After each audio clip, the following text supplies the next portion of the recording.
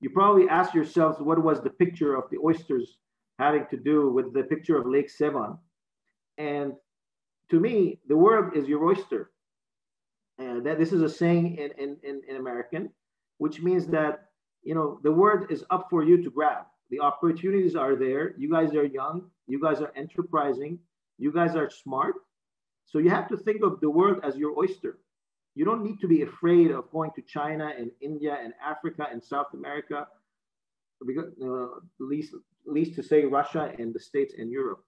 And as a global nation, I think this will this is much easier for us to think of the of the world as an oyster than other nations that are very reclusive and and and and and, and inclusive. So uh, we have, thanks to our history, sometimes our tragic history, we are dispersed across the world.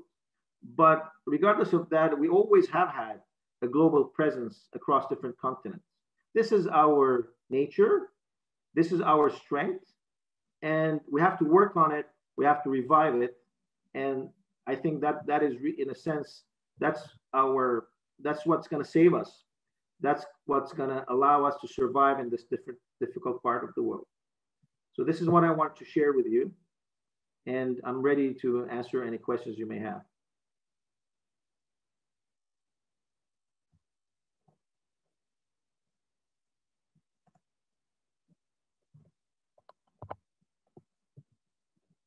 Should I stop sharing?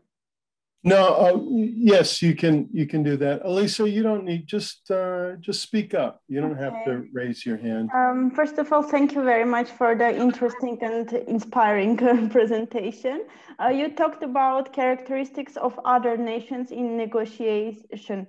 What do you think? How Armenians are in negotiation, or what they need to improve?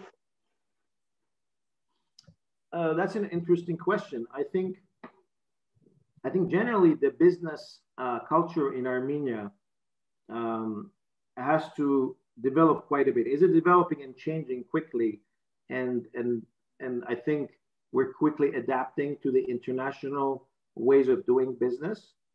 Um, I generally I think that Armenians are good negotiators, and and a part of being a good negotiator is being is, is to be a good communicator uh, is to be also somewhat of a uh, knowing what you want from the negotiation. So in order to be able to bargain and negotiate, you have to clearly know what you want and you have to be self-confident and be able to communicate effectively.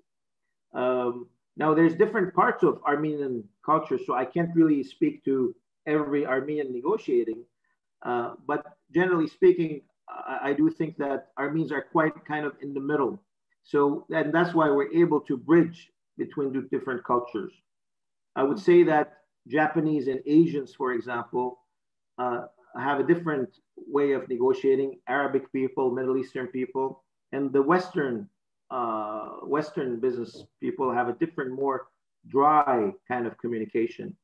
Because of our culture and our ability to be a bridge between different cultures, I think instinctively we're able to mediate between these two different te- uh, teams. And that's our ability, that's our strength.